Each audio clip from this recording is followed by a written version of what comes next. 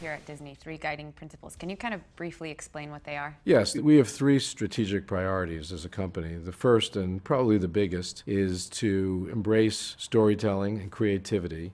In our case, creating high quality branded content. We have such great brands as a company, from Disney ESPN and ABC and Marvel and Pixar and Lucasfilm and Star Wars, that we believe the best way to create value for our shareholders is to tell great stories under those brand banners or umbrellas.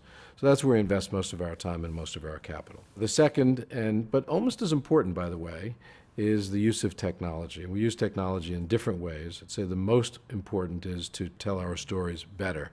Technology is the friend of the storyteller because it gives the storyteller tools to tell the story even better.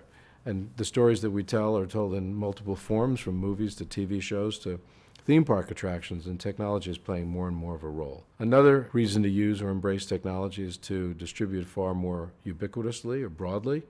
We have these great tools today to reach more people in more places at more times. Mobile technology, a great example of that let's use them. Let's be at the forefront of all of that change so that we can reach more people with the stories that we tell. We also use technology to get closer to our customers. One of the great things about technology today is that it provides us the tools to know who our customers are, to hear what our customers want, what they like, and to improve the experiences that we have with them using the data that we glean from the experiences that they have. And that's a great opportunity, not just for the customer, but obviously for the company.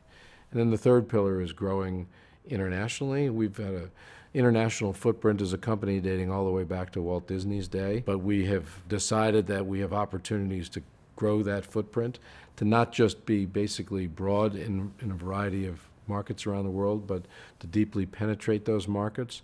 And one great example of that is what we're doing in China today, particularly with the construction of Shanghai Disneyland.